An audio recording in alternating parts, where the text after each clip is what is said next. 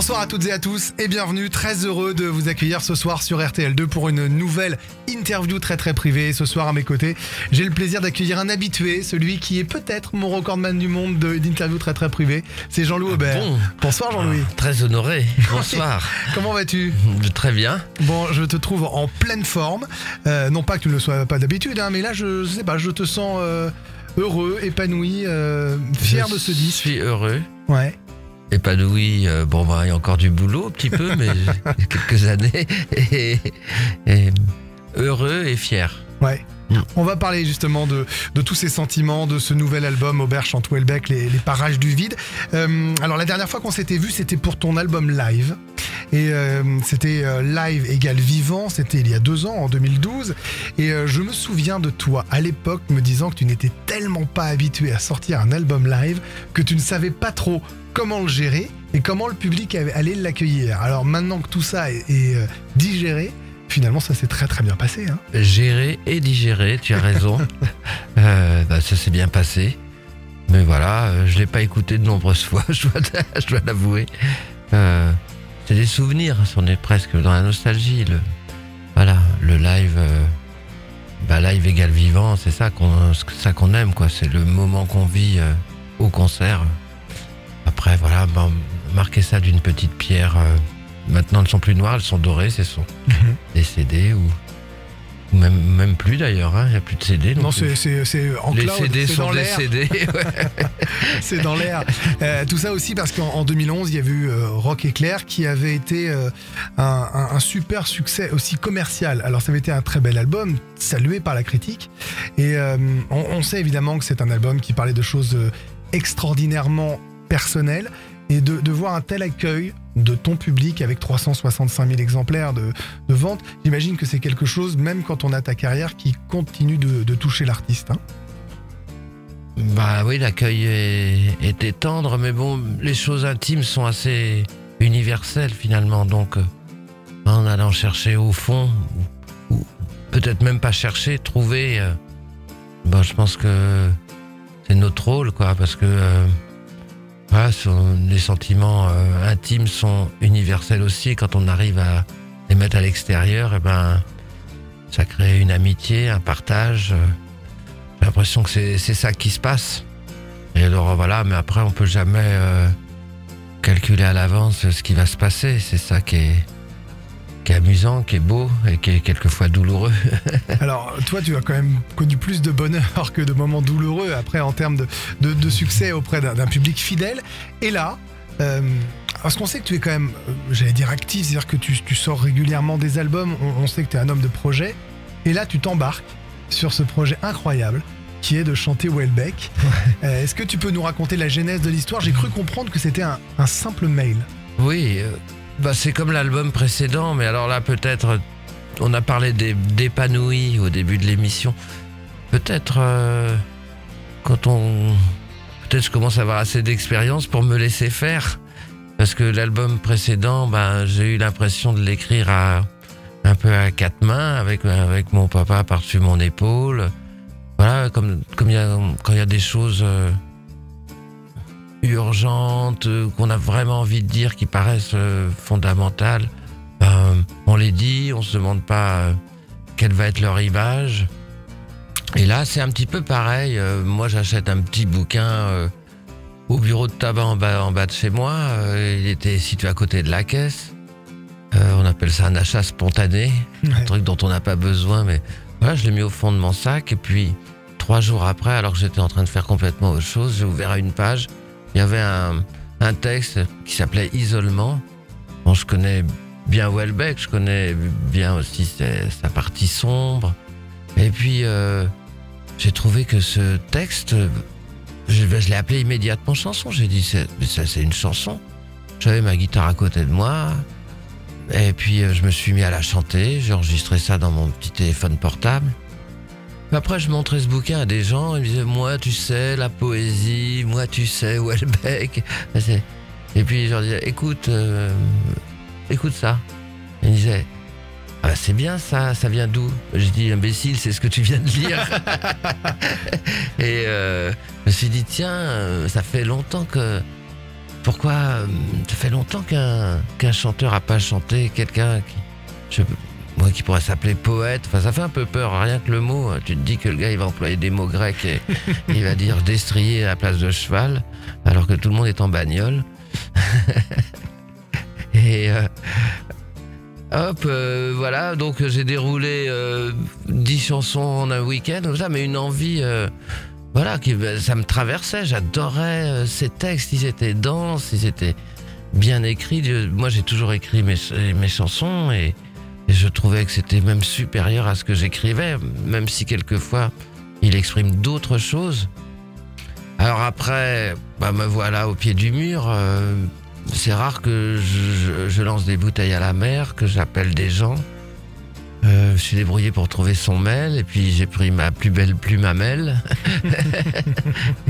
Voilà, et puis j'ai dit monsieur, je suis tombé sur, euh, sur quelques poèmes à vous, serait-il possible que le chanteur chante le poète Bon, ça a pris un peu de temps, mais c'était juste, il m'a m'a pas répondu. euh, arrête de déconner, Jean-Louis. Parce qu'on a, le même âge et si on n'est pas tout à fait dans les mêmes euh, circuits, euh, lui, il me voit apparaître et il me suit. Il m'avait vu, il m'avait vu très jeune dans une, dans une maison de la culture ou dans une université. Et puis moi, je suis tombé pas mal de fois sur sa poésie et sur euh, beaucoup de ses romans. Donc, euh, hop, nous voilà partis. Il me dit, je, tourne un film en ce moment, mais ce week-end, je pourrais être chez toi. Et puis, on écoute ça. Quand il écoute Isolement, cette première chanson, euh, il se lève et il m'embrasse et il me dit, c'est mieux que ce que j'ai écrit. Moi, je deviens tout rouge parce qu'il faut pas me faire des coups comme ça. Et puis, on s'est vu à 3 heures de l'après-midi. Je pense que je l'ai quitté vers 3 heures du matin. Et je me suis réveillé dans les bras d'un SDF black dans le 13e euh, vers 5 heures du, vers 5 heures du matin. euh, avec la faim au ventre. Et voilà. Et, et McDonald's est écrit en chinois dans ce quartier-là. C'est tout- tout ce dont je me souviens. Le reste appartient à ton histoire personnelle. Non, non, non, je vais vous raconter la suite. Voilà, puis ça a été le début ben, de cette aventure qui était un jaillissement. Et puis depuis, ben, après huit mois quand même pour mettre euh, ça sous forme euh, de disque. Et puis je, ben, je suis très heureux et c'est vrai que je peux avoir de l'enthousiasme, un peu aussi comme dernier album, parce que je ne suis pas le principal acteur. Je me suis laissé faire plutôt que faire. J'ai pas décidé abstra- abstraitement de de travailler sur des textes de quelqu'un d'autre, euh, ni parce que c'était Michel Houellebecq. Et même si maintenant je suis très content de le côtoyer de temps en temps, même s'il est assez reclus parce qu'il il écrit euh, beaucoup. euh, donc il écrit un roman, je pense. Et voilà, c'est une merveilleuse aventure parce que c'est me servir de mon époque. euh, lui, on est sur la même montagne et puis lui il est face nord, moi je suis face sud, je fais un peu le beau chanteur. Lui il y va, il y va en, quelquefois en provocation, quelquefois en, en acidité, mais c'est un, c'est un vrai scalpel euh, sociologique et c'est quelqu'un qui, a- qui écrit euh, très très bien, très très bien. Et pour avoir côtoyé ces textes huit mois, on aperçoit et ça donne aussi des chansons qui ont un format un peu différent. J'espère que vous allez pouvoir en passer quelques-unes. Bah, on les joue, on les joue, je te rassure. Mais elles sont, elles sont mignonnes parce qu'elles ont, euh, euh, quelquefois, elles, elles- sont, elles sont courtes comme des, des premières chansons des Beatles, mais pour une autre raison, euh, elles ont peu de mots, mais et des fois peu de, re- peu de refrains. Donc c'est dans la musique. Et voilà, ce que je voulais surtout, c'est ne, ne faire que chanter. Quoi. Je voulais pas faire Ferré euh, chantant. Baudelaire. Pour moi, le dernier exemple que j'ai vraiment un peu marquant, c'est Ferrat euh, chantant Aragon, quoi, où c'était vraiment des chansons, qu'on, même certaines qu'on a chantées au Resto du Cœur, voilà. Et euh, j'étais surpris. L'autre fois en studio, il y avait une petite fille malienne, 6 ans. Et ben, elle chantait par cœur euh, et un poème de Michel Houellebecq. Et voilà, si ça pouvait. Ça permet d'ouvrir à la culture aussi. Oui, enfin la culture, euh, ce qui est génial une chanson, c'est que si c'est un poème, ben finalement tu connais le poème sans, sans l'avoir jamais appris par cœur, ce qui est toujours un peu la pénibilité à l'école. Grâce à la musique, ça arrive à toutes les oreilles et les prendront celles qui, celles qui veulent. Alors, ce qui est intéressant aussi dans ce que tu nous dis, c'est qu'un artiste qui a euh, un tel passé, euh, une telle aura auprès de, de son propre public, toi donc, peux malgré tout, il me semble avoir compris ça, Comment peux-tu être euh, intimidé. ça devant Non, moi bah, pour te faire rougir, tu as dit que c'était étonnant, donc euh, j'y vais moi aussi, je ma Miroir chance. magique, va-t'en. Euh, Peut-être intimidé par un autre artiste, en l'occurrence là. Ah bah oui, bah oui, bah très, bah oui, c'est un peu comme si. Avec ce côté aussi de la littérature, comme, euh, comme dit Michel, il dit Toi, t'as de la chance, tu luttes avec euh, 30 ans de musique. Euh, moi, je, je, je lutte avec 5 siècles de littérature. euh, donc ça fait.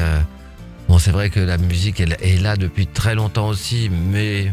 Bon, le rock, euh, nos petites guitares électriques, euh, notre, notre musique anglo-saxonne, euh, recuisinée à la française, bon, c'est vrai que c'est voilà c'est récent c'est- une vague tandis que lui ben il- il- il- dans, dans son esprit à juste titre il se mesure à Balzac Tolstoï euh, et Tutti Quanti Baudelaire et c'est assez beau euh, en plus les, les écrivains sont un peu reclus et c'est et ils envient aussi ces chanteurs qui peuvent euh, nous on chante une chanson euh, bah, grâce à vous, aux ondes, on est des, sculpteurs de vent un peu quoi. Donc, ben, t'es sur le périphérique, tu rentres du boulot, t'entends une chanson, bam, ça va, ça va avec ton cœur, ça va avec ce que tu penses.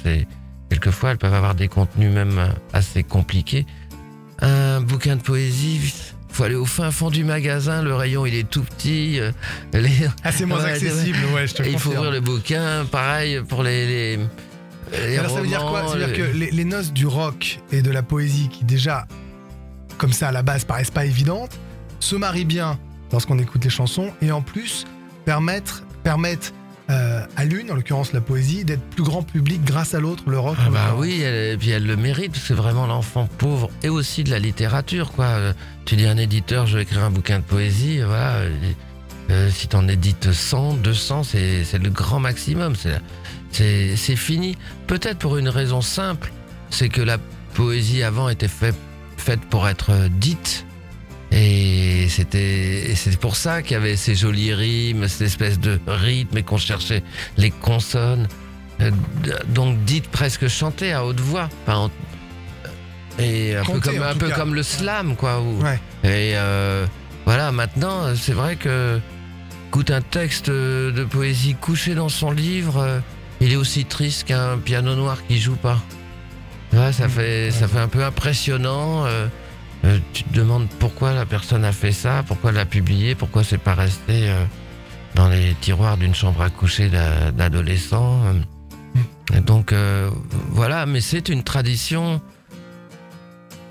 française avec la langue. On a, on a eu des, des très grands poètes écrivains et c'est marrant de que ça, ça soit passé pour moi.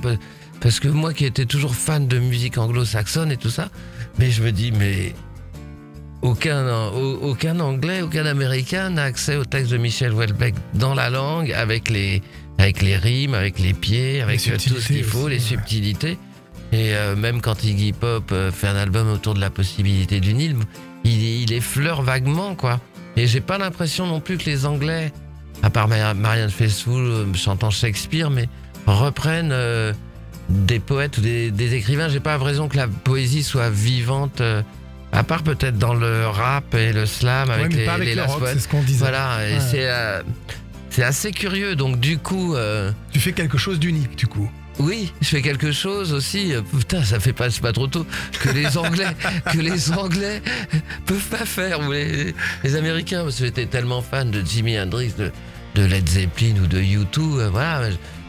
Mais là, ce petit plus euh, de la langue, toi. de la, de la langue française, parce que c'est de la langue, euh, c'est de la vraie langue française et j'adore ça. Mais vous verrez en écoutant que il n'y a pas un mot que vous comprendrez pas. C'est c'est dans le rythme des phrases et dans parce que justement Michel euh, est assez un expert pour être gracieux, euh, simple, euh, la plupart du temps direct. C'est un album, alors rock éclair de par son titre, son histoire. On en avait longtemps parlé, d'ailleurs l'interview est toujours disponible, je vous le dis sur rtl2.fr, euh, qui était plus sombre. Là, est-ce qu'on peut parler d'album lumineux? Est-ce que toi, tu considères que cet album-là est un album, euh, euh, je sais que tu considères comme un album d'amour, et est-ce qu'on peut aussi parler de lumière? Oui, moi je le trouve très lumineux pour, pour deux raisons. Parce que ce chapitre, contrairement à d'autres, hein, parce que bon, Michel n'a pas changé quand il veut être. Euh, euh, Un peu dark qui peut. ouais. Hein, le chapitre précédent s'appelle Mémoire d'une bite, par exemple, et j'ai pas trouvé grand chose à chanter. Ça sera pour les rappels euh, en fin de tournée, pour les deux derniers concerts.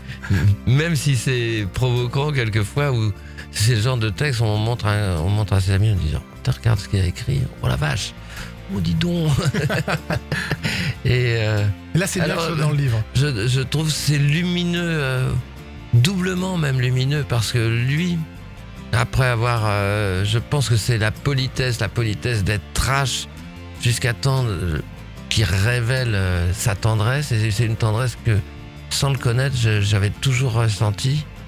Euh, donc elle est révélée dans ce chapitre, je trouve.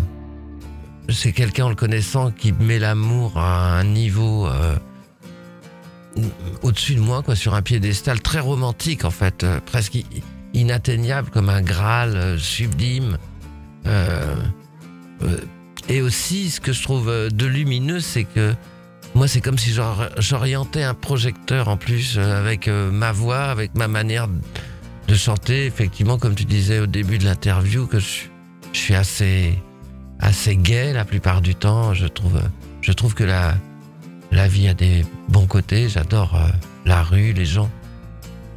Et euh, je trouve que cette deuxième couche en plus, bon bah voilà, rajoute euh, une surlumière qui, qui fait que on est presque étonné que que ça vienne de Welbeck et pourtant c'est la vérité. Il a, il a un petit cœur sensible comme ça, je trouve.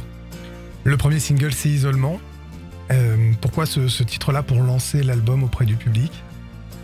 Ben, ça être Voilà, ce sera toi, la chanson qui sort single. cette semaine, mais je me suis dit, tiens, je vais faire un peu comme le rap, avoir un, un single zéro, un pré-single, et je en plus, bon, ben, par hasard, alors qu'on était en train de discuter, euh, puis qu'on avait une sono près de nous, on a, on a tourné un clip, euh, enfin, on a, on a tourné, on tournait des images à ce moment-là, on s'est dit, tiens, ça ferait un clip amusant. Euh, donc, euh, je me suis dit, c'est marrant de nous voir tous les deux et, je pense que par un morceau un petit peu plus euh, violent, ça paraissait plus normal d'aborder Welbeck parce que euh, le morceau qui vient là, c'est pour moi une des plus belles déclarations d'amour ouais, qui a été faite et je, suis sûr que tout le monde aurait dit non mais c'est pas possible, je sais pas pourquoi ça s'appelle euh, Aubert chante Welbeck, ça devrait s'appeler euh, Aubert chante Aubert, mais il écrit pas mal, dis donc, ces temps-ci. Et toi qui as toujours écrit tes chansons, c'est ce que tu me disais tout à l'heure, euh, te retrouver, j'allais dire, dans les mains d'un autre, dans les textes d'un autre, euh, ça enlève toute part d'autobiographie Ou est-ce que finalement, comme le public le fait avec certaines, certaines chansons, tu parviens à t'identifier et donc à, à t'incruster dedans? Je m'identifie un peu, mais j'ai- j'aime aussi la structure, euh, le rythme, le choix des mots, les consonnes, comment les phrases se répondent. Donc en fait, c'est plus ça qui m'a qui m'a pris au départ euh, et que c'était bien exprimé, plus que est-ce que moi j'ai vécu ça, est-ce que je chanterais ça? Euh, après, oui, oui, il y a une partie où où je me retrouve complètement. Euh, c'est quand même de l'admiration que je chante pour lui et pour. C'est comme si. C'est ton école des fans à toi. Hmm, si tu veux, c'est une manière de le dire. C'est un peu comme si je faisais une musique de film. Ouais. C'est plus proche de ça et que je la chanterais. C'est-à-dire que l'émotion est déjà là, la structure est là, c'est bien exprimé, c'est un peu différent, mais euh, quand même pas, euh, pas étranger. Mhm. Euh, c'est comme un ami, même s'il l'est pas encore. Et puis, je ne sais pas ce que. Voilà, on est juste euh, des connaissances, des copains, mais enfin. quand- euh, et, moi, je ne fais qu'illustrer. Donc, je me colle à la première émotion que j'ai eue. Et puis, en plus, euh, plus c'est fragile, plus il faut pas souffler trop fort dessus. Donc, c'est ça qui est un peu compliqué pour faire un disque sol- solide, tout en gardant euh, euh, ce jaillissement et cet élan et cet enthousiasme du départ. La pochette de l'album, alors là évidemment c'est euh, de la radio donc c'est compliqué de vous la montrer même si cette interview est diffusée sur rtl2.fr. Euh, elle, elle ressemble à une pochette de livre. J'imagine que c'est euh, aussi quelque chose qui a été pensé ou c'est le hasard le plus total où on te voit dans, dans un champ comme ça en noir et blanc avec Aubert, Welbeck, Aub- Aubert, Chantou, Welbeck, les parages du vide, quelque chose de très épuré qui pourrait vraiment faire penser à une couverture de livre, surtout la, la- la typographie aussi, ce genre de choses. Enfin moi en tout Ouais. cas ça m'a frappé. Peut-être ça traîne dans notre inconscient. Et d'ailleurs, euh, il y a une version spéciale euh, qui existe un peu en format livre. Et l'album va être euh, distribué en librairie sous ce format. Et à l'intérieur, et à l'intérieur, ce qu'il y a en plus, c'est toute notre correspondance par mail. Alors ça fait un peu comme les correspondances de l'ancien temps. Ça commence par des, des chers amis, euh, pas, pas, pas ça, mais surtout le vouvoiement. Ouais. Et puis, parce que voilà, j'étais assez respectueux au départ. Et c'est marrant parce que c'est quand même des mails, donc c'est- court, c'est un peu la, la structure des, des échanges de maintenant. Euh, et on, on sent bien comment on se rapproche au fur et à mesure euh, du projet. Comment, comment On sent le lien arriver. euh, Oui, et puis avec quelle bienveillance il m'accueille aussi et, avec, et il m'accompagne. Il est tout en encouragement, tout le temps. euh, il est jamais venu en studio. il me dit, c'est merveilleux, t'as pas changé une phrase, comment t'as fait Enfin, T'as pas eu envie de changer une phrase, pas de rature, c'est ce que tu dis. Hein. euh, non, j'ai quelques fois, enfin, j'ai ra- j'ai j'ai rajouté un mot ou deux. Bon, ça va, c'est Mais j'avais le droit de tout faire. J'ai Oui, même ça. inventé des titres et quelquefois j'ai chanté aussi deux poèmes qui, dans le livre, semblaient différents. Je les ai chantés dans la même chanson. Ah oui. Et, euh, Et ça passe et marche très bien. Euh, cet album, tu l'emmèneras en tournée également par la suite. Alors, on a des dates que vous retrouverez sur RTL2.fr. Le 12 octobre au Théâtre du Châtelet, 13 et 14 octobre au Palais des Congrès de Paris. Et puis, la tournée dans toute la France, évidemment, avec euh, Le Havre début octobre. Il y aura également, je ne veux pas dire de bêtises, Albi, Boulazac, Strasbourg, Nancy, Nantes, Brest, Toulouse. Bref, c'est reparti Attends, pour un t'en tour. plus que moi. Oui, oui, ça c'est en novembre. Mais tu veux que je te donne ton programme de décembre? Est-ce que tu veux Je peux Aïe, faire ton aïe, aïe. secrétaire particulier? Tu seras du côté d'Annecy, Grenoble, Toulon et puis il y a jusqu'à Montbéliard juste avant Noël, le 19 décembre. Euh, ça veut donc dire que la route revient. Euh, chouette, ça non? La route revient, c'est le titre de mon prochain album. T'es heureux de repartir en tournée aussi après pour défendre cet album-là? Oui, oui, heureux. Et puis, euh, voilà, c'est quel- c'est quelque chose qui appelle, euh, qui appelle une, une lecture de la scène différente, enfin, dans, dans, mon- dans mon esprit. Donc, euh, T'as déjà des idées? Ouais. ouais, plein. Trop, peut-être. Ça veut dire que tous ceux, qui, mon producteur de tournée. tous ceux qui te suivent là jusqu'à présent et qui, qui t'ont vu sur scène vont encore être surpris.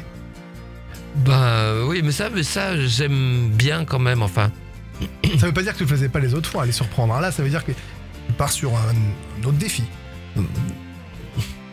il y a Aznavour, mais je crois que c'était dans, dans votre maison, là. Une fois, on était dans une petite loge, tous les deux enfermés, ça faisait 2 mètres carrés.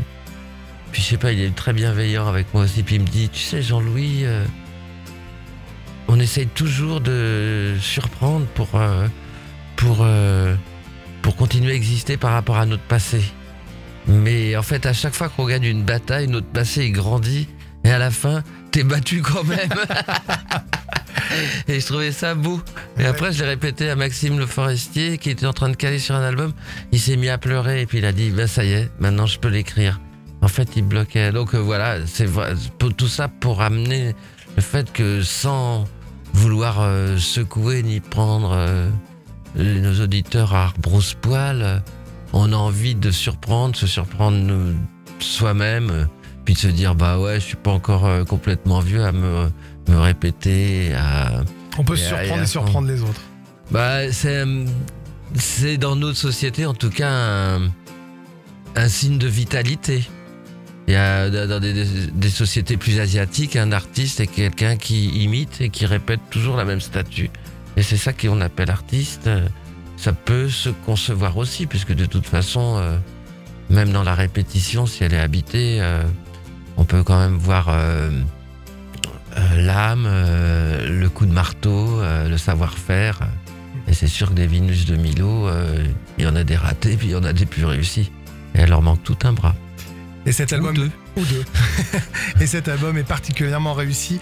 Aubert chante Welbeck, les parages du vide, évidemment. L'album est sorti le 14 avril dernier et euh, vous retrouvez toutes les dates de la tournée, je le dis, je le répète, sur rtl2.fr. Comme d'habitude, ça a été un bonheur de t'accueillir. Merci Bah, beaucoup de t'être moi livré. aussi, bisous à tes enfants. Ouais. et et, euh, plein de belles choses pour la suite. On se retrouvera, j'en suis certain, pour, euh, pour parler justement de cette tournée, de, de tout ça. Bah, merci beaucoup. Merci, C'est toujours un plaisir de venir. À très vite.